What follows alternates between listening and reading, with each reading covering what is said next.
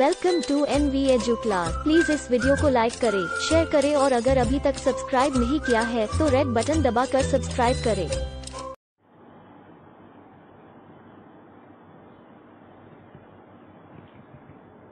Hello students आज का हमारा टॉपिक है लाइफ प्रोसेस लाइफ प्रोसेस में हम पढ़ने वाले हैं ट्रांसपोर्टेशन इन ह्यूमन बीइंग्स पिछले वीडियो लेक्चर में हम जो है ट्रांसपोर्टेशन इन प्लांट्स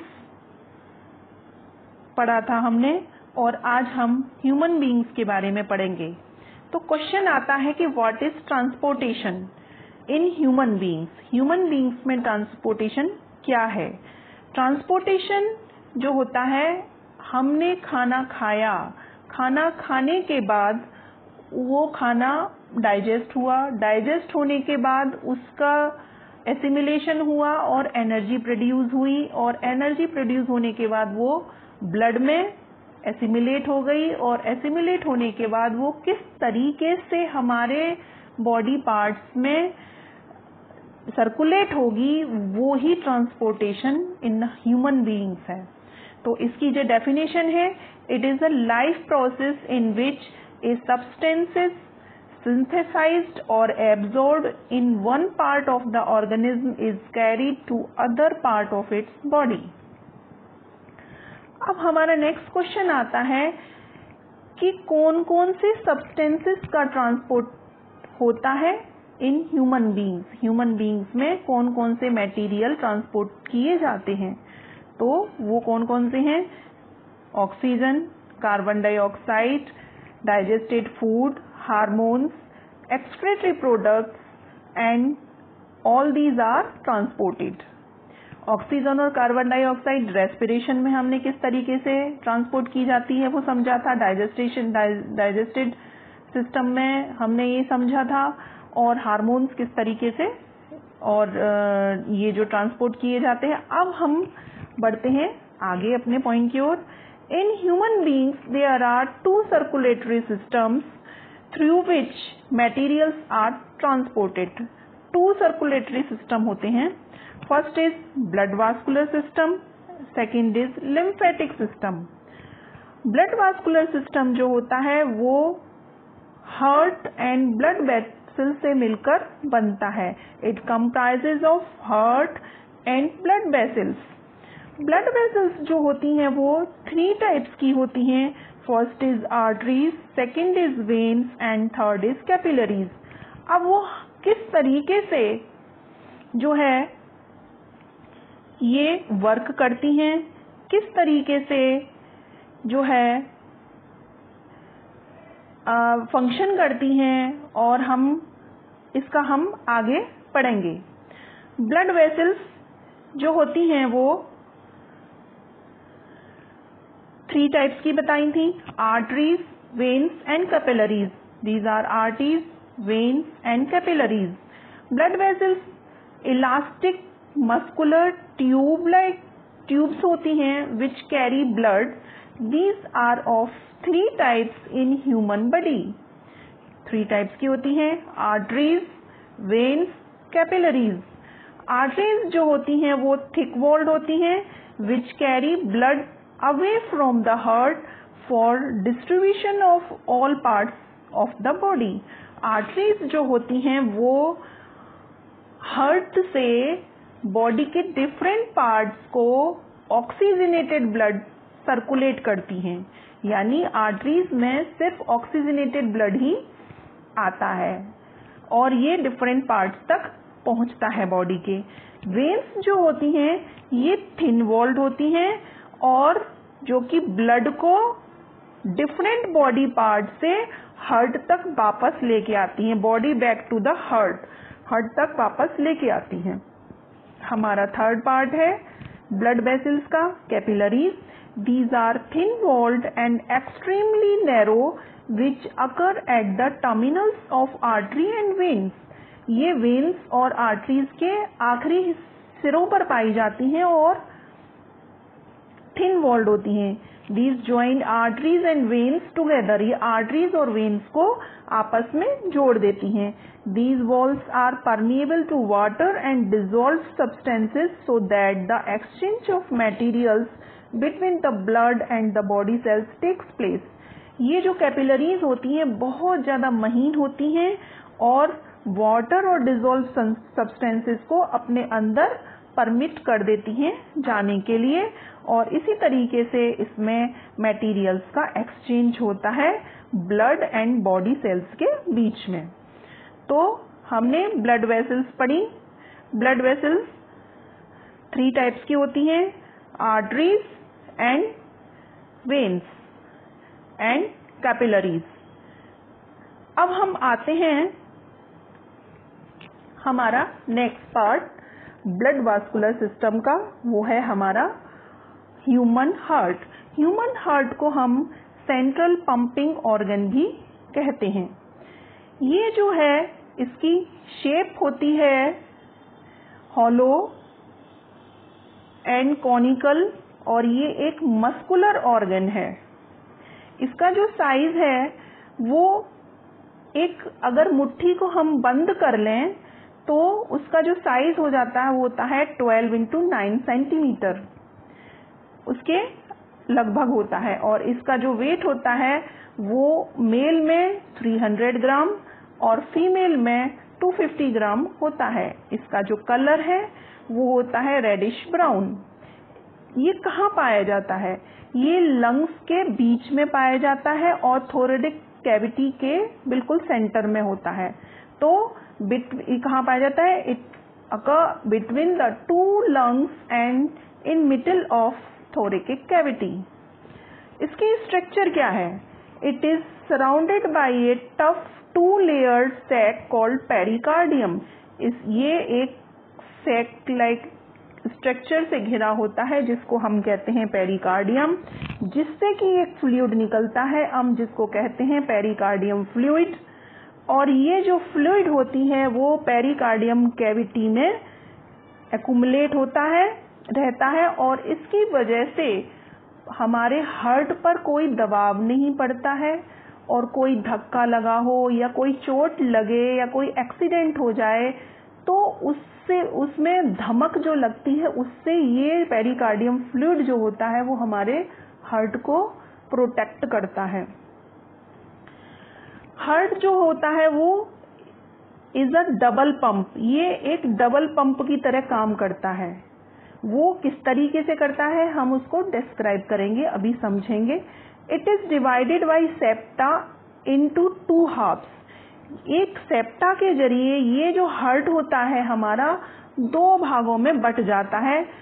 एक भाग होता है राइट एक होता है लेफ़्ट एक लेफ़्ट हाफ़ होता है, एक होता है right half each half consist of two communicating chambers और जो हर राइट हाफ़ और लेफ़्ट हाफ़ जो होता है, वो टू चैम्बर्स से मिलकर बना होता है। अपर स्मॉलर ऊपर वाला हिस्सा छोटा होता है, जिसको हम एट्रियम और नीचे वाला बड़ा होता है, उसको हम वेंट्रिकल कहते हैं। नीचे अपर लोअर पार्ट होता है। इस तरीके से हर्ट, ये हमने, ये समझाने के लिए इस तरीके से कि हमने अपना यहाँ पर बनाया है। ये हार्ट है।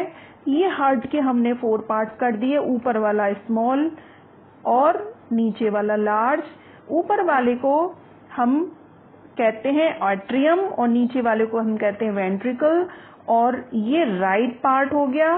दिस इज़ राइट पार्ट और दिस इज़ लेफ़्ट पार्ट ये लेफ़्ट हो गया और ये राइट इस तरीके से four chambered first second third fourth हमारा हार्ट जो होता है वो फोर चैम्बर्ड होता है। तो इस तरीके से ये हमने हार्ट का एक डायग्राम शो किया है। ये हार्ट है। जैसे कि हमने अभी फ्लो डायग्राम में समझाया है कि हार्ट के फोर पार्ट्स होते हैं। ये फोर पार्ट हो गए इस तरीके से। ये हो गया राइट एट्रियम ये हो गया राइट वेंट्रिकल ये हो गया लेफ़्ट एट्रियम और ये हो गया लेफ़्ट वेंट्रिकल इसमें हम, अभी हम आगे फर्दर पढ़ेंगे, आपको जो समझ में आएगा, ये है सुपीरियर वेना कैबा ये ये एक वेन होती है जो कि राइट ऑट्रियम में आकर मिल जाती है. ये पल्मोनरी आर्टरी होती है पल्मोनरी वेन और इस तरीके से ये हम डिटेल में समझेंगे, किस तरीके से आगे बताएँगे आपको।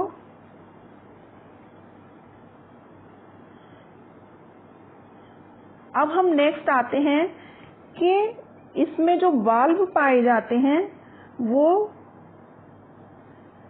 कैसे होते हैं? समझते हैं कि हार्ट की स्ट्रक्चर को डिटेल स्टडी करते हैं। पेरिकार्डियम हमने बताई दी का इसके एक सेक लाइक स्ट्रक्चर होती है जो हार्ट उससे घिरा हुआ होता है। Are valve between left atrium and left ventricle called bicuspid valve और between right atrium and right ventricle called tricuspid board ये दो वाल्व पाए जाते हैं लेफ़्ट एट्रियम और लेफ़्ट वेंट्रिकल के बीच में बाइकस्पिड होता है और राइट एट्रियम और राइट वेंट्रिकल के बीच में ट्राइकस्पिड वॉल्व पाए जाते हैं। These valve provide one way passage and prevent the return of blood flow of blood from atrium to ventricle ये जो वाल्व होते हैं, सिर्फ़ इनकी वजह से एट्रियम से वेंट्रिकल की ओर ही ब्लड का फ्लो होता है। रिवर्स में नहीं हो सकता, यानी वेंट्रिकल से वेंट्रिकल से ऑट्रियम में वापस ब्लड नहीं जा सकता। यहाँ से नीचे आ सकता है। यानी एट्रियम से वेंट्रिकल की तौर ब्लड आएगा, लेकिन वेंट्रिकल से ऑट्रियम में नहीं जा सकता, इन वॉल्व की वजह से। The wall of heart is compose of cardiac muscle fiber की बनी होती है हार्ट की मसल्स अब हार्ट का फ़ंक्शन क्या है? क्या काम करता है heart the most vital function of it is heart beats heart हर समय धड़कता रहता है, और यह हमारे लाइफ टाइम तक, जब तक हम ज़िंदा हैं, तब तक ये धड़कता ही रहता है हमारी पूरी लाइफ तक। अगर दिल ने धड़कना बंद कर दिया तो यह समझ लीजिए उस व्यक्ति की मृत्यु हो गई, दिल का धड़कना खत्म तो आदमी खत्म। जो completion of one heart beat is called cardiac cycle जब एक हार्ट बीट कंप्लीट होती है, उसको हम कहते हैं कार्डियक साइकिल एक कार्डियक साइकिल जो होती है, वो कॉन्ट्रेक्शन और रिलैक्सेशन से मिलकर बनी होती है। कॉन्ट्रेक्शन को हम सिस्टोल कहते हैं और रिलैक्सेशन को हम डायस्टोल कहते हैं। यानी एक कार्डियक साइकिल में सिस्टोल और डायस्टोल दोनों ही होते हैं। तो कार्डियक साइकिल्स में कौन कौन से इवेंट्स होते हैं? वो अब हम डिटेल में समझेंगे कि कौन कौन से इवेंट्स होते हैं। फ़र्स्ट इवेंट है when muscles of all chambers are relax जब muscles of all chambers are relaxed होती हैं। तो ये कौन सा क्या होता है? जब रिलैक्स्ड होता है मसल्स चारों चैम्बर जो, ये फोर चैम्बर हैं फ़र्स्ट सेकंड थर्ड फोर्थ चारों चैम्बर जो हैं रिलैक्स फॉर्म में हैं। तो blood comes from head and upper body parts and lower body parts body के अपर एंड लोअर पार्ट और हेड से blood deoxygenated large vein superior vena cava के ज़रिए, ये सुपीरियर वेना केवा हमने शो की है, के ज़रिए राइट एट्रियम में आता है। राइट एट्रियम में आता है और इसी के साथ साथ बिल्कुल पैरेलल ही लेफ़्ट ऑट्रियम में ऑक्सीजनेटेड ब्लड लंग्स से आता है पल्मोनरी वेन के ज़रिए। फिर से समझते हैं कि राइट ऑट्रियम में आता है सुपीरियर वेना केवा के ज़रिए डीऑक्सीजनेटेड ब्लड जो कि इम्प्योर होता है। डिफरेंट बॉडी पार्ट से इम्प्योर ब्लड राइट ऑट्रियम में आता है। और इसके साथ साथ जो इवेंट होता है, वो ऑक्सीजनेटेड ब्लड लंग्स से पल्मोनरी वेन में आ जाता है। वो कि प्योर होता है। अब हमारा नेक्स्ट इवेंट क्या होगा? वो होगा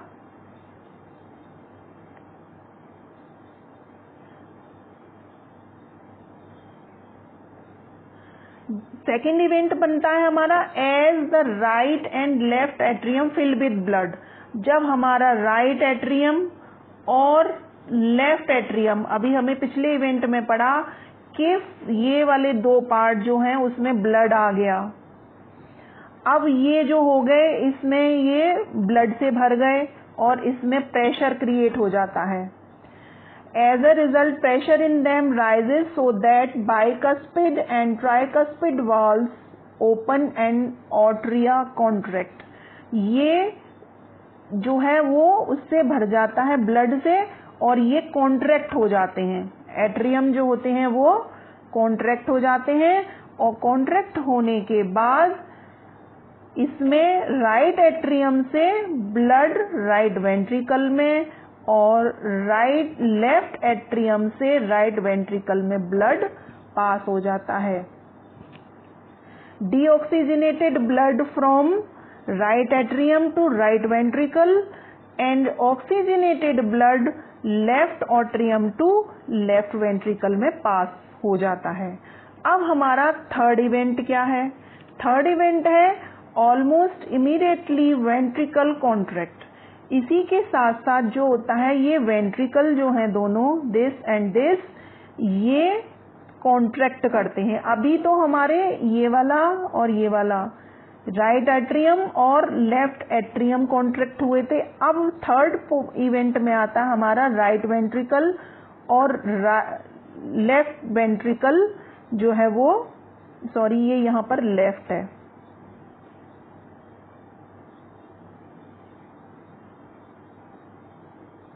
लेफ़्ट वेंट्रिकल जो है वो कॉन्ट्रैक्ट करता है।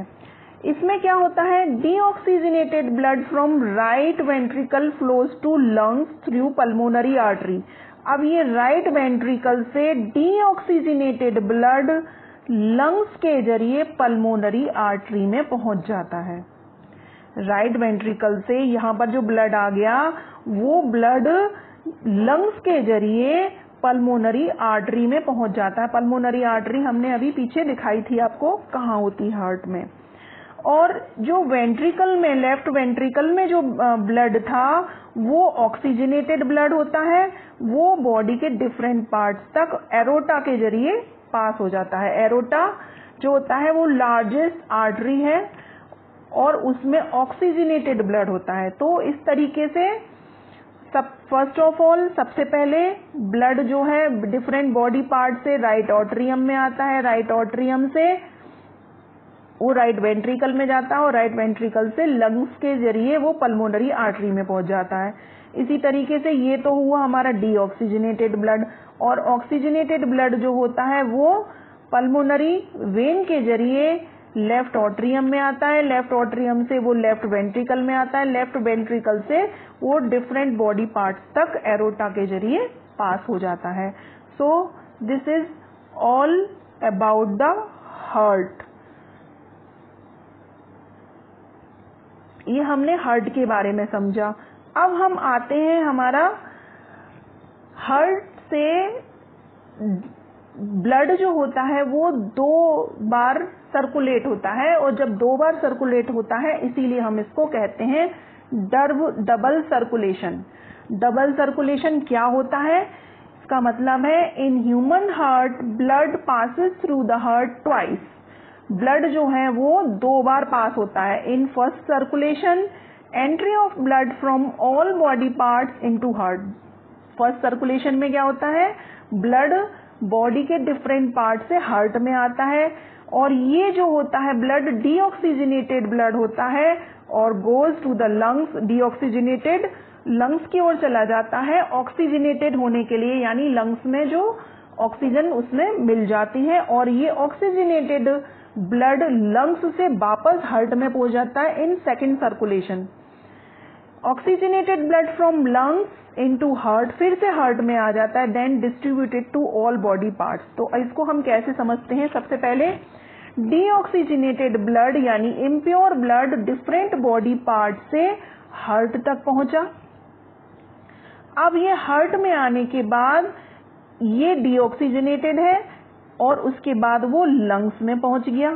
लंग्स में यहाँ पर ऑक्सीजन इसमें इन्वॉल्व हो जाती है और वो ब्लड ऑक्सीजनेटेड यानी प्योर हो जाता है। Oxygenated blood further goes to the heart ये फिर से हार्ट की ओर मूव करता है और ये हार्ट में पहुँचने के बाद फिर एरोरा के ज़रिए distributed to all body parts फिर से डिफरेंट बॉडी पार्ट्स की ओर सर्कुलेट हो जाता है। इसी को हम डबल सर्कुलेशन कहते हैं। ब्लड का डबल सर्कुलेशन हार्ट में। अब हमारा नेक्स्ट आता है function of blood circulatory system. Circulatory system के क्या क्या फ़ंक्शन हैं? वो इसको हमने फ्लो डायग्राम के ज़रिए इस तरीके से समझाया है कि सर्कुलेशन ब्लड का होता है तो क्या क्या हमारे बॉडी में कौन कौन से फ़ंक्शन होते हैं? Transportation of soluble digested food from intestine to various part, body part. जब फ़ूड डाइजेस्टेड हो जाता है ब्लड में बॉडी में तो फिर वो ब्लड में उस मिल जाता है और ब्लड से वो ट्रांसपोर्ट किया जाता है बॉडी के डिफरेंट पार्ट्स तक। Second carries hormones from endocrine glands to the organs target Jin body parts को, जिन जिन हार्मोन्स की ज़रूरत होती है, उन हार्मोन्स को वो ट्रांसपोर्ट करता है सर्कुलेटरी सिस्टम के ज़रिए होता है। Next is maintain a constant body temperature ये सर्कुलेशन के ज़रिए बॉडी टेम्परेचर को मेंटेन करता है कि अगर हमारी बॉडी का टेम्परेचर बढ़ गया है तो स्वेटिंग होगी और स्वेटिंग होने के बाद ज़्यादा से ज़्यादा पसीना आएगा और हमारे बॉडी का टेम्परेचर कम हो जाएगा, पसीना आने की वजह से। Next is transport oxygen from the lungs to the body part किस तरीके से रेस्पिरेशन के ज़रिए ऑक्सीजन को डिफरेंट बॉडी पार्ट्स तक सर्कुलेट करता है? Carries carbon dioxide produce by the tissues to the lungs यानी इम्प्योर जो बॉडी हमारी बॉडी में जब कार्बन डाइऑक्साइड एकोमुलेट हो जाती है, उस बॉडी कार्बन डाइऑक्साइड को बॉडी के डिफरेंट पार्ट से बाहर लेके जाना लंग्स तक लेके आना तो ये काम सर्कुलेटरी सिस्टम के ज़रिए होता है। फिर होता है it has property of clotting which prevents excessive blood loss circulatory system के ज़रिए ही ब्लड की क्लॉटिंग होती है और अगर कोई इंजरी हो जाती है, हमारा ब्लड ज़्यादा लॉस ना हो एक्सेसिव ब्लड लॉस ना हो, इसका भी प्रिवेंशन जो है वो ब्लड सर्कुलेटरी सिस्टम के ज़रिए होता है। नेक्स्ट है human blood protects our body from the attack of foreign bodies foreign bodies जो होती हैं, अगर कोई हमारी बॉडी पर अटैक कर देता है कोई बैक्टीरिया या वायरस तो उसको भी प्रोटेक्शन के लिए ये सर्कुलेटरी सिस्टम ही काम आता है। नेक्स्ट है blood maintains a constant solute potential of pH pH को भी मेंटेन करता है कि कब हमारे बॉडी में किस चीज़ की ज़रूरत है। रिक्वायरमेंट्स को कंप्लीट करता है पीएच को मेंटेन करता है। फिर है prevents from diseases causing pathogen pathogen से भी हमारे बॉडी को बचाता है। फिर है carries excretory materials urea is formed in the liver and transported to the kidney जैसे कि एक्सक्रेटरी में सिस्टम में यूरिया जो होता है, वो लीवर में बनता है और वो किडनी तक पहुंचाता है। सर्कुलेटरी सिस्टम के ज़रिए ही होता है। फिर होता है carries glucose from liver to muscles ये जो जब डाइजेस्टिव सिस्टम में ग्लूकोज बन जाता है हमारी बॉडी में, वो लीवर से लेके डिफरेंट बॉडी तक पहुँचाया जाता है उसको। तो this is all about the circulatory system के इसके क्या क्या फ़ंक्शन होते हैं, किस तरीके से वो काम करता है सर्कुलेटरी सिस्टम तो अब हम नेक्स्ट हमारा आता है ब्लड क्लॉटिंग अभी हमने पीछे पढ़ा के सर्कुलेटरी सिस्टम में ब्लड क्लॉटिंग का काम करता है, वो किस तरीके से करता है ब्लड क्लॉटिंग है क्या?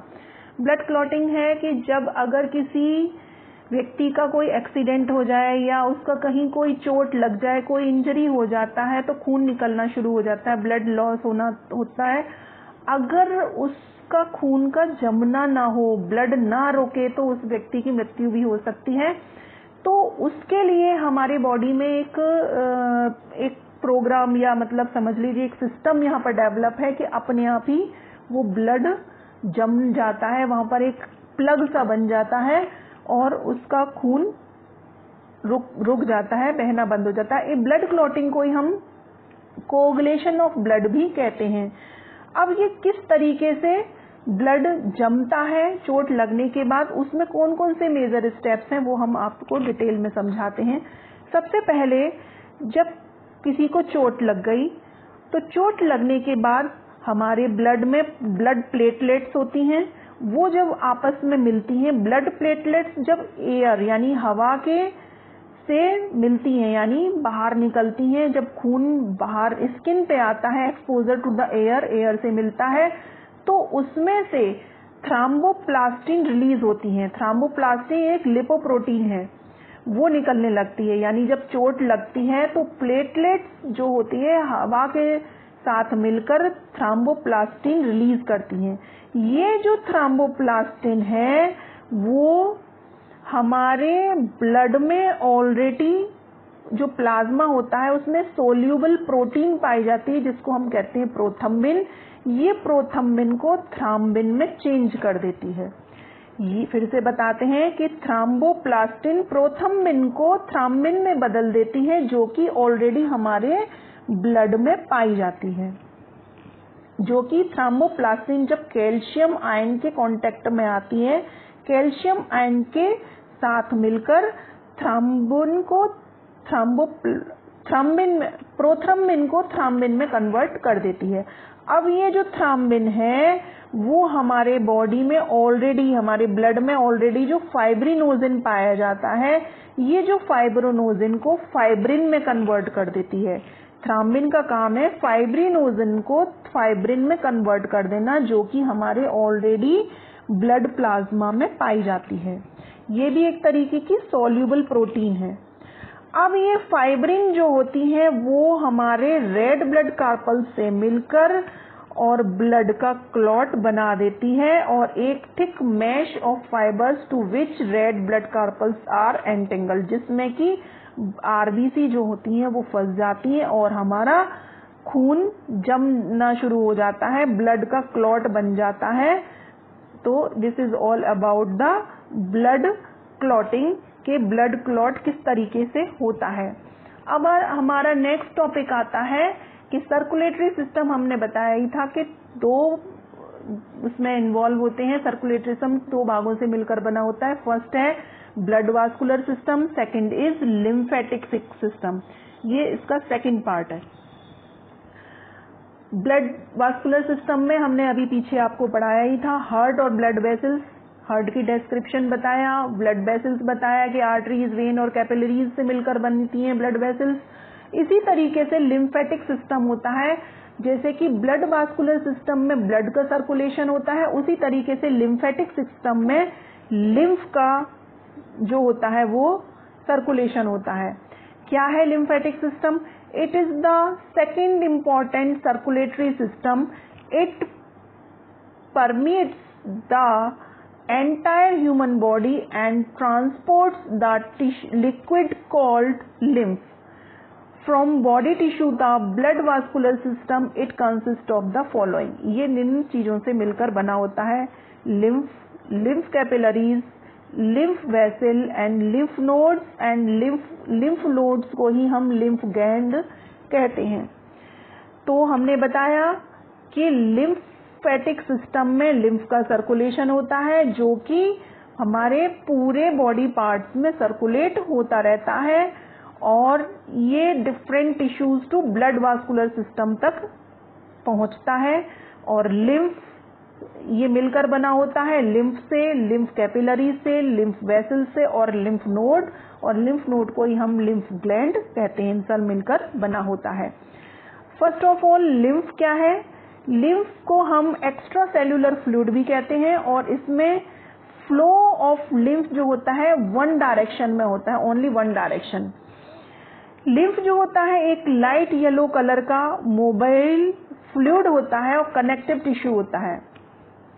It consist of two parts lymph जो होता है, वो टू पार्ट से मिलकर बना होता है प्लाज्मा और लिम्फोसाइट सेल्स किससे मिलकर बना होता है? प्लाज्मा और लिम्फोसाइट सेल्स प्लाज्मा जो होती है, जिस तरीके से ब्लड प्लाज्मा होता है, इसी तरीके से लिम्फ में लिम्फ प्लाज्मा होता है, वो दोनों बिल्कुल सिमिलर होते हैं. लिम्फ प्लाज्मा में जो होते हैं it contains protein molecules and digested fats germs and fragments of dead cells इसमें डेड सेल्स के फ्रेगमेंट्स पाए जाते हैं। लिम्फोसाइट सेल्स जो होती हैं these are special type of डब्ल्यूबीसीज डब्ल्यूबीसीज का मतलब है white blood cells which fight against the infection lymphocyte cells जो होती हैं, वो हमारे ब्लड में आने वाले डिफरेंट बैक्टीरियाज या वायरस अगर कोई अटैक कर देता है तो उनको खाने का काम करती हैं, यानी उनको रिमूव कर देती हैं, उनको डेस्ट्रॉय कर देती हैं, उस इन्फेक्शन के अगेंस्ट वो लड़ती हैं। सेकेंड पार्ट आता है हमारा लिम्फ कैपिलरीज लिम्फ और लिम्फ का लिम्फ कैपिलरी सेकेंड पार्ट है। These are highly permeable and thin walled tube having variable diameters ये हाईली परमिएबल होती हैं। इनकी जो वॉल्ड थिन वॉल्ड होती हैं और वेरिएबल डायमीटर इनका जो डायमीटर होता है डिफरेंट होता है अलग अलग जगह पर। Tissue fluid drains into lymph capillaries which join to form larger lymphatic vessels ये लिम्फ कैपेलरीज आपस में मिलकर लिम्फ वेसल्स बनाती हैं। लिम्फ कैपिलरीज तो बहुत थिन होती हैं और जब ये आपस में मिल जाती हैं तो लिम्फ वेसल्स बनाती हैं। These are lymph containing vessels formed by joining of lymph capillaries lymph capillaries जब मिल जाती हैं तो लिम्फ वेसल बनाती हैं। हमारा फोर्थ पार्ट आता है लिम्फ नोड जिनको कि हम लिम्फ ग्लैंड भी कहते हैं। These are situated at the intervals through the lymphatic system lymphocytes accumulates in the lymph node lymph node में लिम्फोसाइट्स जो हमारी लिम्फोसाइट सेल्स थी, ये यहाँ पर इकट्ठी होती हैं लिम्फ नोड्स में। और लिम्फोसाइट्स जो होती हैं दे प्रोड्यूस एंटीबॉडीज जहाँ पर लिम्फ नोड्स में एंटीबॉडीज प्रोड्यूस होती हैं, और ये antibodies act as an important part of body immune system और ये हमारी बॉडी के इम्यून सिस्टम को बढ़ा देती हैं। They remove bacteria and other foreign particles from the lymph lymph में से बैक्टीरियाज और अदर फॉरेन पार्टिकल्स को ये रिमूव कर देती हैं। तो इस तरीके से ये हमने जो डायग्राम यहाँ पर शो किया है, ये है lymphatic system in human being ये right lymph duct lymph nodes ये डिफरेंट नोड्स के हमने अभी बताया था आपका, ये लिम्फ नोड्स हैं बॉडी के डिफरेंट पार्ट्स में पाई जाती हैं और ये डॉट लाइक स्ट्रक्चर होती इस तरीके से ये हार्ट है। अभी हमने बताया था कि दोनों लंग्स यहाँ पर लंग्स होते हैं, ये लंग्स के बीच में पाया जाता है, यहीं पर थोड़े की कैविटी होती है, ये कैविटी के बीच में पाया जाता है। ये वेन्स होती हैं और ये जो बहुत छोटी छोटी महीन महीन दिखाई दे रही हैं, ये तो हैं कैपिलरीज